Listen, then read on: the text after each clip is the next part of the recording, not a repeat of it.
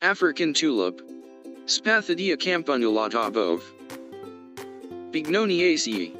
It is a medium-sized evergreen tree that grows to a height of 20 meters the 20 to 25 cm long, pinnate leaves, and separated into 5 to 8 pairs. Leaflets. The flowers are orange-red and huge, measuring around 10 centimeters long and 5 centimeters wide. cm in diameter and carried in terminals. Racemes are erect. With an unusual odor the fruit is delicious. 12 to 33 cm length, boat-shaped, flat.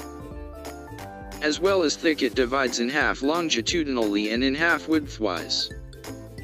A large number of flat seeds are released the the seed is around 2.5 centimeters in diameter and has a translucent, wide, silvery white wing. Distribution Throughout the Philippines, the species can be found near sandy seashores and inland in wide sandy valleys beside streams. It can be seen growing at heights of up to 800 meters. It's also found in the Indo-Pacific region, and it's currently grown all over the world. Seeds are commonly used to propagate agoho.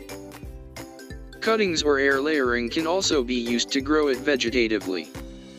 A decoction of the bark is used for constipation, gastrointestinal troubles and dysentery.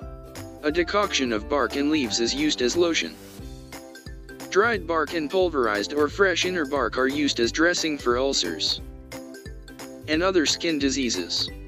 Bruised leaves and flowers are applied on wounds. An infusion of the leaves is used for urethral inflammation.